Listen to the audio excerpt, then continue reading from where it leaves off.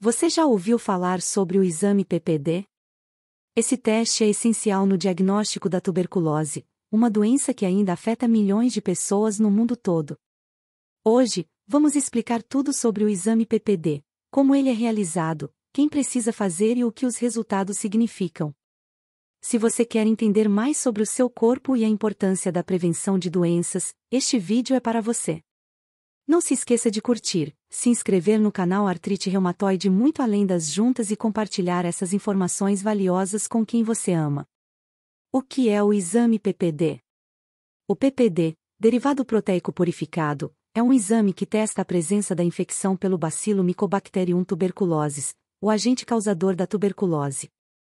Também conhecido como teste de Mantoux ou prova tuberculínica, o PPD é usado principalmente para detectar se uma pessoa já foi exposta à bactéria que causa a tuberculose.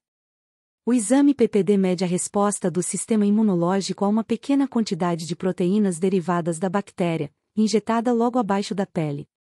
Se o sistema imunológico já foi exposto ao Mycobacterium tuberculosis, ele reage à injeção, criando uma área de inflamação. Como o exame PPD é realizado? O exame é simples e feito em duas etapas. Injeção intradérmica. Um profissional de saúde injeta uma pequena quantidade de PPD logo abaixo da pele, geralmente no antebraço. Isso forma uma pequena elevação na pele, como uma bolha.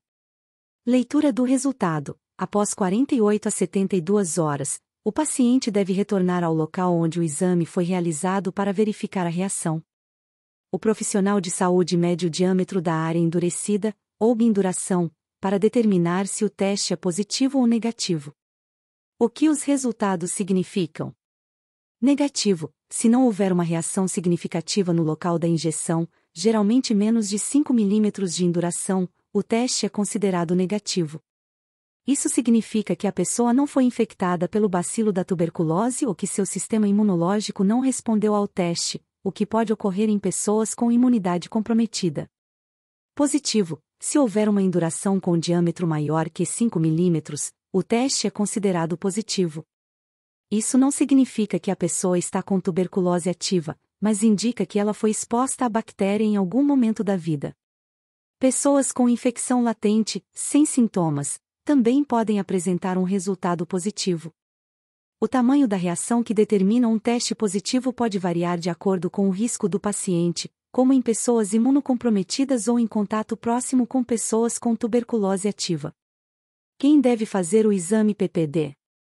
O PPD é indicado principalmente para pessoas com suspeita de tuberculose latente ou ativa. Se você tem sintomas como tosse persistente, febre, suores noturnos ou perda de peso, o médico pode pedir o PPD para verificar se há infecção pela bactéria da tuberculose. Indivíduos que tiveram contato com pessoas com tuberculose ativa, aqueles que vivem ou trabalham com alguém que tem tuberculose devem ser testados para saber se foram infectados.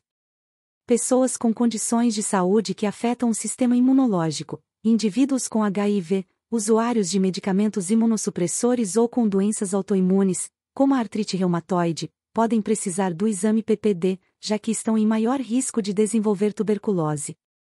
Profissionais da saúde, médicos, enfermeiros e outros trabalhadores da saúde que estão expostos ao risco de contrair a doença também precisam ser testados regularmente. Quais são os cuidados após o exame? Não coçar o local da injeção.